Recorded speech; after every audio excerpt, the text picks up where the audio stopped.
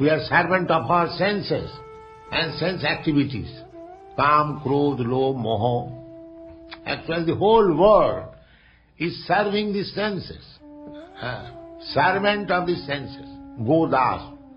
Uh, but if we engage the senses in the service of Krishna, then we shall no longer remain the servant of the senses, we shall be the master of the senses. Uh, because we shall not allow our senses to be engaged otherwise. That strength we shall get. And then we shall be saved.